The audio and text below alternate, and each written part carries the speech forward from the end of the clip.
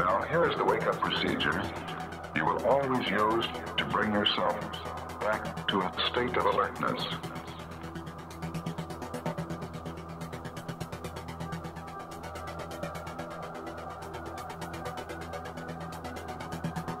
Here's how you wake yourself up.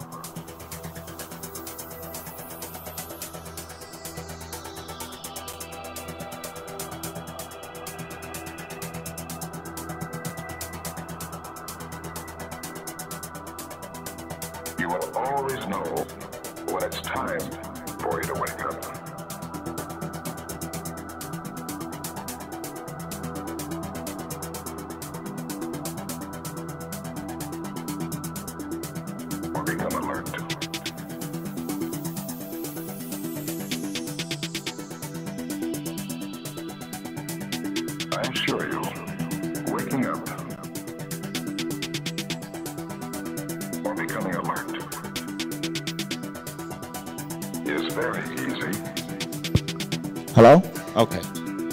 Uh, guess I'll get started. Uh, hi, my name's Benjy, and uh, I'm going to talk about motion capture in Blender, a little bit about motion capture in general. There were a lot of talks in this conference about motion capture, so this is more a bit of an overview and summary, and also about what we can do with motion capture in Blender in the future. So, as I mentioned, this is what the presentation is going to deal with. Uh, what is motion capture, Blender and motion capture, and what we're going to be doing in the future. So who am I? I'm Benjy Cook, uh, 23 years old. I live in Israel. And I'm really interested as a programmer in working with other artists and using slightly more automated techniques to allow them to fulfill their creativity in a more automatic and quicker way, but still having them have full control over their creation. Uh, oh, and one last thing. I was the Google Summer of Code student this year for Blender, and I implemented a motion capture add-on that allows you to work with motion capture data a lot more efficiently, I feel. So I'm going to do a short overview now about motion capture. So first of all, what it, what it, what it is, in case you don't know, motion capture is capturing real human actors' motion and using that data to drive the virtual character's animation in our 3D program. There are three major steps in the process. That's acquisition, managing the data, and then reanimating our desired character with the motions that we captured. Uh, on the left, you can see the inspiration for the process, which was, that's a sketch from uh, the 1930s. It's a, from a patent by Walt Disney. And the original Snow White from 1941 was done by shooting live action characters. And then in a process known as rotoscoping, they drew, drew on the live film, and that was the reference for the animation for Snow White. And on the right hand corner, you can see a modern contemporary motion capture system where the actor has these sensors hooked up to him that drive the virtual character on the bottom part of the picture. So, uh, why should we use motion capture? What's the, why is it good for us? Why does it help us? Well, the first three reasons are it's cheaper, it's more accessible, and it's faster.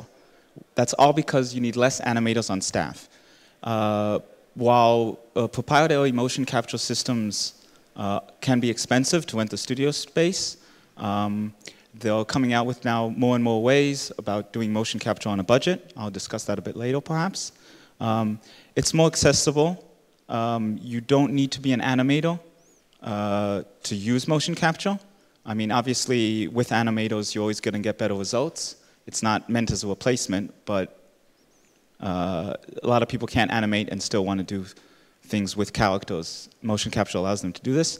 And as I mentioned, it's faster because uh, even in terms of blocking out a simple animation, uh, it can take an animator a few days to get a good result. Motion capture, you put an actor in the suit, hit record, and you have it right in your program. It can be more realistic. This is a subject of great debate that I'm not really going to go into. Uh, I think it's great for directors because a lot of directors don't know what visual effects is, don't understand animating, don't know what keyframes are. But with a motion capture setup, they don't have to stand above the shoulder of the animator and say, have him do this, have him do that. They just tell the actor. And it's more like a regular film production where the director directs the actors until he gets the results he wants. And reuse. Um, you, you can uh, obviously save these motion capture files and create libraries, the same we do with the models, textures, and materials, and so on. Um, here, as I mentioned, It's great for directors. This is James Cameron directing Avatar. He had this little machine which was a monitor where he would see uh, a kind of rough composition of how the actor would look as uh, one of those blue characters from Avatar. He would see it in real time. He could even, because it's a virtual character, and not a real character, he could even have a, say, I want the camera to be 200 meters higher. He'd push up a few buttons and uh, it would immediately happen. And of course, all this is live, real time, interacting. He can interact with his actors. Um, well, we live in an imperfect world, so obviously there are downsides for everything. I, I feel that the biggest downside to motion capture is it's difficult to edit and manipulate once it's captured. That's what I mean by capture means captured. Uh, especially if you're using existing clips, they might not be exactly what you need. Um, it's difficult. And there's a third uh, issue, which is that it's limited by human anatomy. That is obviously be very difficult to do motion capture of a dog, or sometimes in fantasy, science fiction movies, you want creatures that are less than human, and you can't really use motion capture for those. Uh, here's an example of such a case. Uh, Andy Serkis as Gollum uh, from the Lord of the Rings, Two Towers. And Gollum is not a human character. He's similar, but he can do all these sorts of backflips that obviously the actor couldn't really do. So while they used motion capture in a lot of areas in the film, they, in this scene, they actually had to do hand, hand animation completely, using Andy just as a reference, similar to the Snow White, and they couldn't really use the motion capture because uh, Gollum does this crazy backflip that no way a human actor could recreate. Uh, good news. Most of those limitations, other than perhaps the last one, could, can be fixed or at least alleviated with a good high-level motion editing capability. That is, if we had a, such a capability, we could have used motion capture for that Gollum shot and just go into keyframe animation for that 10% where Andy really couldn't do it. Um, the same thing goes well, as I mentioned, reusing libraries. So if you have an element that you've recorded and you want to reuse it in your project, uh, if you have good editing motion editing capabilities, uh, that's a lot easier to do. And it's not just, okay, this is the clip, either it's good for you or it's not. So I'm going to discuss a little bit about acquisition, how the motion capture, how the system works. The most popular technique right now is using multiple cameras and computer vision algorithms uh, and techniques to capture the optical markers. That's the system you see in the upper right-hand corner, these white dots on a black suit, and the cameras, similar to motion tracking, can isolate the markers from the frame, and because you're using multiple cameras, it's not only 2D information, but 3D information.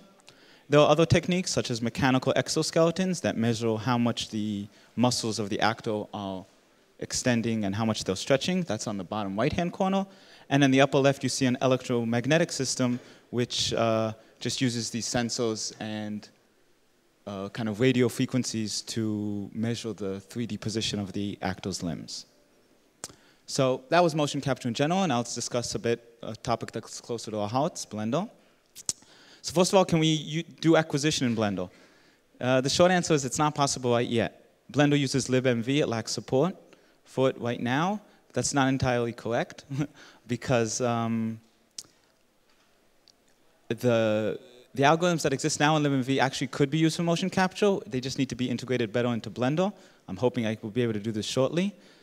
Um, but as I said, it's not possible yet. The alternatives are the Kinect. There was a great presentation here, I think on the first day, that showed the Kinect uh, being used for digital puppetry and motion capture.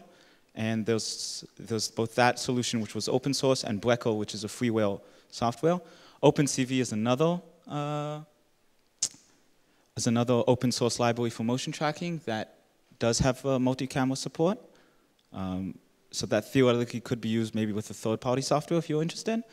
But again, even if you have to use commercial software, you can still create motion capture on a budget because all you need is a few consumer DV minicams because all the cameras we really need to see are those white tracking markers. You don't really need some, you don't need 14 high definition cameras on a budget, you could, with a few careful, with some careful planning, you could do with, with three cameras or even webcams. Okay, so once we have the data, now what? Well, we need a bunch of uh, ways to use it with our characters. We need to do some basic motion editing, like motion captures, they capture samples. That is, there's a keyframe on every single frame. That's not how animators work. You want keyframes where the data is supposed to change every 10 frames or so. Um, retargeting. Retargeting is cap. You let's say recorded an actor who is two meters tall, but you want to drive a female character who's only a meter sixty tall. You have to copy the motion over. It's a tricky subject. There are some automatic solutions for that. And other types of editing. For example, if uh, your character in the recorded clip was walking along a straight line, you would like him have, to walk along a curve. You want to stitch animations together, and so forth. So uh, in my Google Summer of Code project, I developed the motion capture add-on. And it provides some of these tools. For example, in basic editing, you can loop animate. It can detect, for example, in a walk cycle, if there are six different steps, it can create one step from all six that loops well. That is, you can keep playing and it's a seamless transition from the start to the, from the end to the start. You can convert it to keyframes. You can denoise it. Uh, motion capture acquisition, like any capturing process, needs some always some cleanup and, no and denoising. You can retarget uh, skeletons, especially for simple rigs. It works automatically. I've never seen any trouble with it.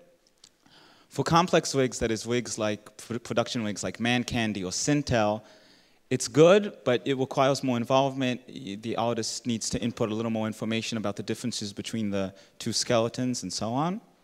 And then there are a bunch of tools for advanced editing, for example, blending and stitching animations together. Uh, as I mentioned, path editing, having them walk along a curve or something like that. And post-retarget fixes. Uh, what happens a lot of times with retargeting, for example, is if the character is interacting with the environment, for example, bouncing a basketball, and as I mentioned, the, the original actor was two meters tall, tall, and the retargeted rig is shorter, so the basketball will kind of won't be the same, won't be in the same place. It should bounce higher, and you need the hand to still touch the basketball correctly. A lot of problems when you're getting into, as I mentioned, interaction with the environment. So I have a bunch of tools to deal with that. So I'm going to just switch over for a second to a tour of the add-on. It's a short video.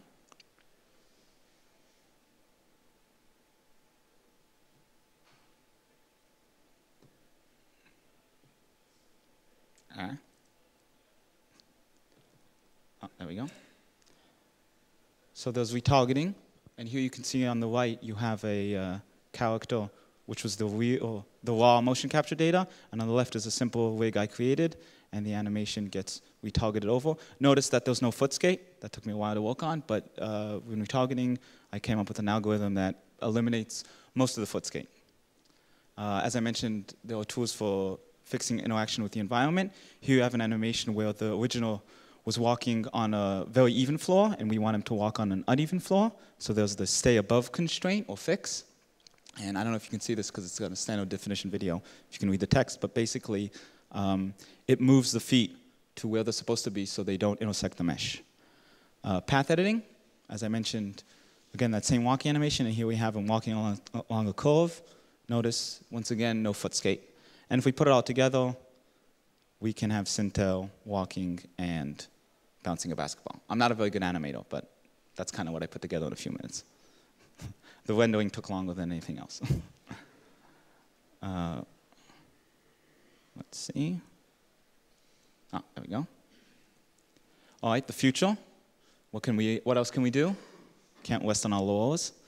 So first of all, my add-on only dealt with full body motion capture. That is the position of the limbs mainly, or the, or the head. Nothing with facial motion capture, which is all the rage ever since Planet of the Apes and Avatar. So that would require a completely different workflow. It's based on these point clouds that are on the face of the actor, unlike the joints which you use on limbs. There isn't really a, a standard format like there is for uh, full body motion capture. Maybe we need to design different rigs for it because facial animation is not is usually not deformation bones like full body. It's shape keys, sometimes lattice deformations. The animators know what I'm talking about. Uh, as I mentioned, acquisition in Blender seems like a very real target that we could uh, achieve pretty quickly. The algorithms are there. Um, hopefully I'll get to that. And more work on motion editing. Those, for example, I've seen things where a system will, similar to the way sound engineers work with an equalizer, you can work with an equalizer of motion and kind of change the characteristics of the animation. For example, if you uh, if you have a guy who's walking calmly, you can make him walk nervous.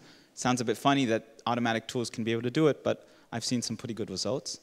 Another interesting thing is partial body motion capture. This is attaching prosthetics to real video context. It's also known as object tracking. It's kind of like a mishmash between match moving and motion capture, um, where you can attach these prosthetics uh, onto the face of the actor without really doing facial motion capture. Uh, interesting for Mango, perhaps.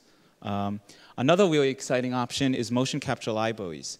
This is using uh, artificial intelligence techniques to allow the to allow this uh, library system to learn from existing samples and on the fly create new animations based on existing ones, even in real time.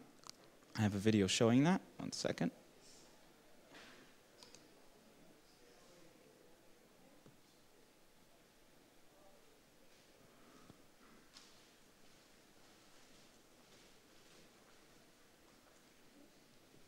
So this is by Kovar and Gleicher. Uh, there was another presentation on their work. Um, so basically here you can see an entire uh, library of various motions that were all imported uh, into this library system. And for example, here you have only the kicks. So you input the system with about six kicks, and then it, it can interpolate between the motions and create and make the kick hit the ball no matter where you place the ball. And as you can see, this is working in real time, which is really exciting. If you need to tweak your motion capture just a bit, you can do it. Um, so what can you do? Well, first of all, bug me, literally. Uh, the, the add-on is now in trunk, so uh, please use it. And if something doesn't work or if you want something, email me. It's the best way to reach me. Um, if you're an animator or a rigger, I'm really interested in how you work because I'm more of a technical person. I don't know how to design workflows that really assist you because I'm, I'm interested especially in the ability to maybe use motion capture to block out your information, make your animation quicker, but then that you can go in and tweak it and make it look exactly the way you want. Obviously, that's what artists need. They don't want the computer to do all the work for them. And really anything else you can think of. Well, that's it. Thanks for listening. Any questions?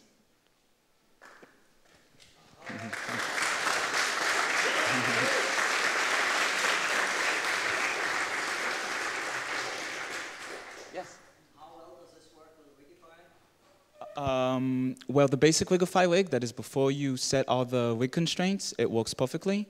Um, it worked with Sintel, and she's based off uh, Rigify. I mean, it's all Nathan Vegdahl's rig, and I was in contact with him during the project.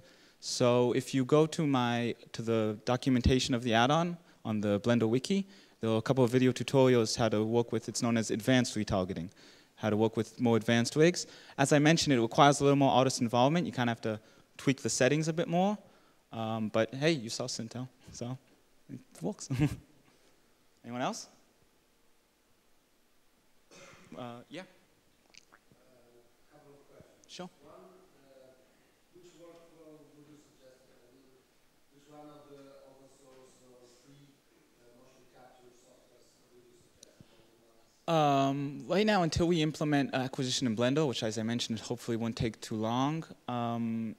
I think to get the best look, unfortunately, you'd have to use proprietary software.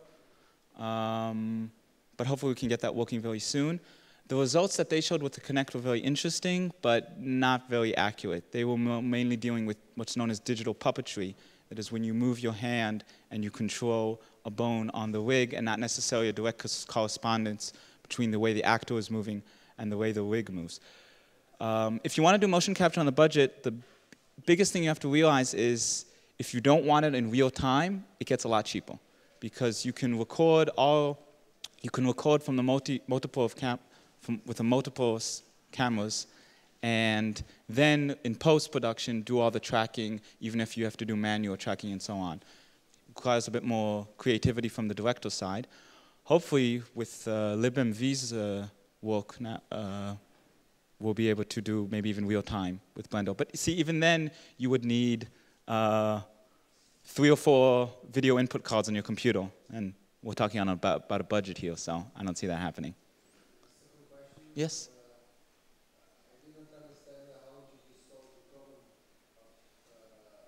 For,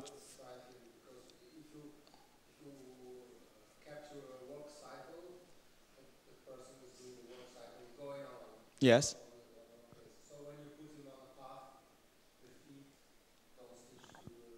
Um, well, foot skate is a, actually a problem that I found that was wasn't too difficult to solve. It's not a perfect solution. Um, it, it, deals with the fact that you're resetting the velocity in which the character is moving. But if you also reduce the velocity of the speed of the feet going backwards, you could do that with, say, an IK constraint. You just reset the position of the foot. Um, there's an automatic solution for that. Again, you can't really turn a walk into a run. If you really increase the velocity, it start looks, starts looking weird. But for small things, walking on a curve, it works. Obviously, it doesn't look as good as a real animator because he's not shifting his weight the way you do when you walk along a very sharp curve. But again, I'm talking about to block out the animation very quickly and then let the animator work on it. In my add-on, if you look in the manual, it deals with using NLA strips as a way of layering on more and more animations, and you can even layer on small tweaks that will interpolate throughout the entire animation. So you, if there's only one specific problem, let's say his back is a bit too bent, you can just straighten out the back, and the back will be straight throughout the entire animation, and still maintain the original character of the clip.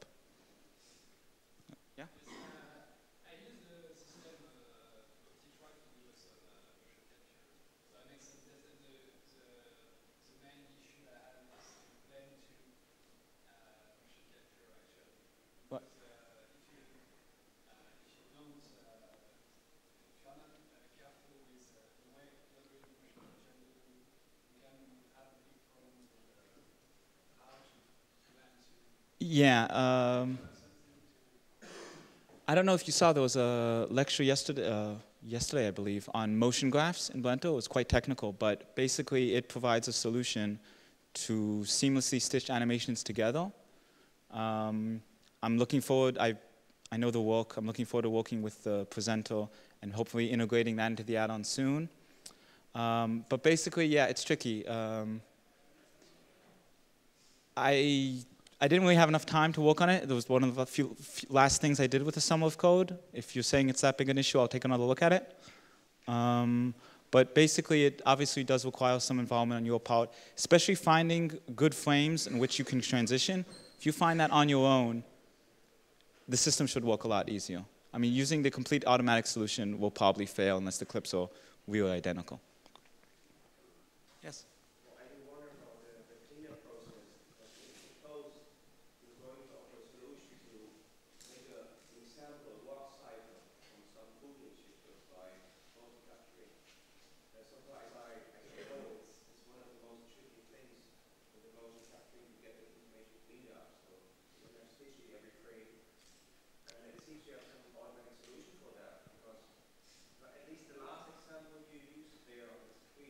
Mm-hmm. So the collection of different motions, and we've been able to get that motion at its extreme point, moving it there, which obviously is a sign that you have some deeper information you need to clean it up. So is there already some sort of automatic cleaning up process for your... Well, um, there are, there are probably three you could use my workflow, to, for example, to clean up a motion capture. The first thing I would do is, I mentioned you convert the samples into keyframes. That's a very important first step. Um, because if you and because if you have a noisy frame or a bad frame, it will clean that out. Uh, the second thing you can do is using the uh, post retarget fixes, as I named them. Um, you can create what's known as a freeze constraint. So you can just say, okay, there's supposed to be a foot plant uh, between frame 30 and frame 40 on the right leg and it will make sure that that foot plant is real, that is, it freezes the bone on those frames, and it smooths in and smooths out of the transition. And I've had a lot of success using that tool with, uh, to eliminate, for example, foot skate or problematic walk cycles. Um, so, like, using tools like that, you can uh, deal with messy motion capture, I would say. Any other questions? Okay, thank you.